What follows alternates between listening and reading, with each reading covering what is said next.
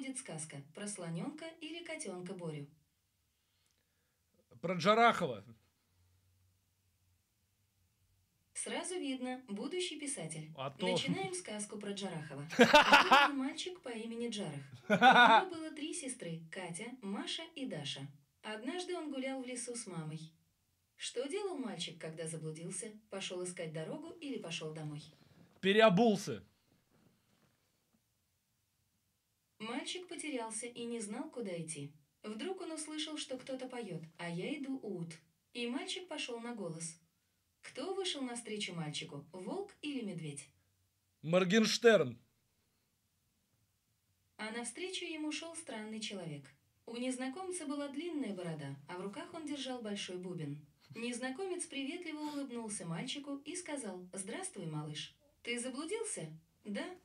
Что предложил сделать незнакомец? Хуйна. Я думаю, для нашей сказки это не очень подходит. Бля, ну ладно. Давай попробуем еще раз. Давай, давай. Что предложил сделать незнакомец? Пойти с ним или вернуться домой?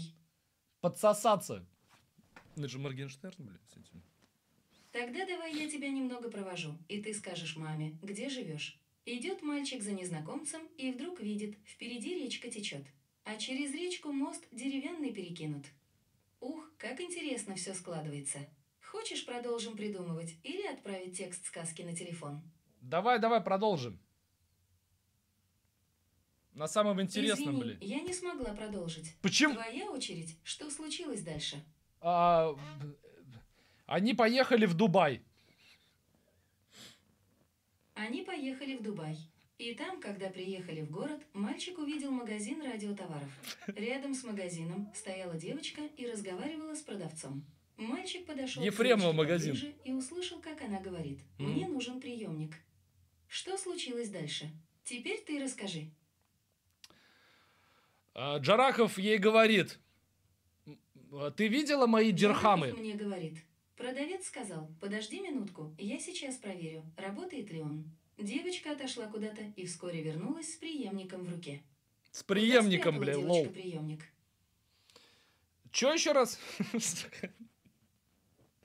Девочка передала приемник мальчику и сказала, вот этот приемник я хочу подарить тебе. Мгм. Он тебе обязательно понравится. Мгм. Мальчик взял приемник, поблагодарил девочку и пошел дальше.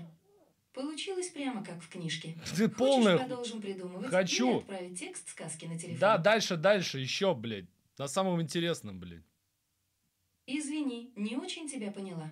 Хочешь, продолжим Дальше. придумывать или отправить Да, хочу, да, да, да, да, да, да, хочу, да. Прости, не услышала. Давай сохраним. Как назовем нашу... Да, да, да, я хочу, да, да, дальше, дальше. Дальше звучит отлично. Отправила тебе сказку. Да придурочная, блядь, дальше. Открой его, пожалуйста. Если снова захочешь придумать сказку, скажи «Алиса, сочини сказку». Да у меня ничего не пришло, ты меня разводишь, блядь, что ли? Ты иди ты нахуй, блядь, сука. Я, говорит, ничего не слышу, блядь. Да она меня развела, блядь, открой телефон. Ну я открыл, тут ничего нету, блядь. Пиздунья, блядь. Пиздунья, фуфлыжница. Алиса, можно к тебе обращаться как фуфлыжница, блядь? Простите, не расслышала вашего имени. Я говорю, тварь, бля. Я говорю, к тебе можно, можно тебя, Алиса, можно тебя называть, да ёпта, Алиса, Алиса, можно тебя называть фуфлыжница? Начать знакомство нужно из приложения «Дом с Алисой». Отправила ссылку на телефон. Да иди ты нахуй своим телефоном, блядь, ничего мне не приходит, блядь. Бездарная, блядь, боже мой, нахуй. Довела, блядь, натуре, блядь. Ну, такие, вот такие женщины сейчас пошли, ничего сказать не могу, блядь.